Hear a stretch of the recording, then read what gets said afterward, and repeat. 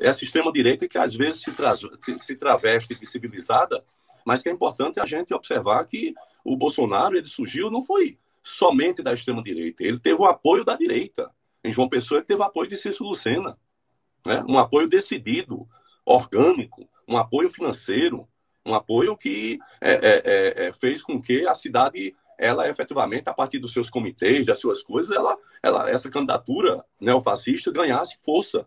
Então, nós precisamos né, é, ter uma alternativa com capacidade de ganhar as eleições. Esse não foi o manifesto, nem, nem é uma posição contra quem quer que seja.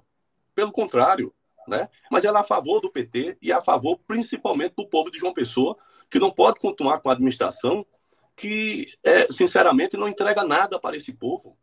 Vive as políticas públicas sociais são desenvolvidas na área de comunicação, né? Fazendo com que os veículos tradicionais não critiquem a, a, o abandono da cidade, essa falta de, de iniciativa né, para obras, ações e serviços que possam melhorar verdadeiramente a vida do povo. Se você espremer o governo de Cícero Lucena, não sai nada.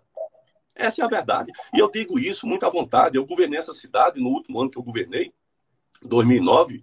O orçamento da cidade era 600 milhões. Hoje o orçamento de João Pessoa está, está em 3 bilhões com B de bola e meio.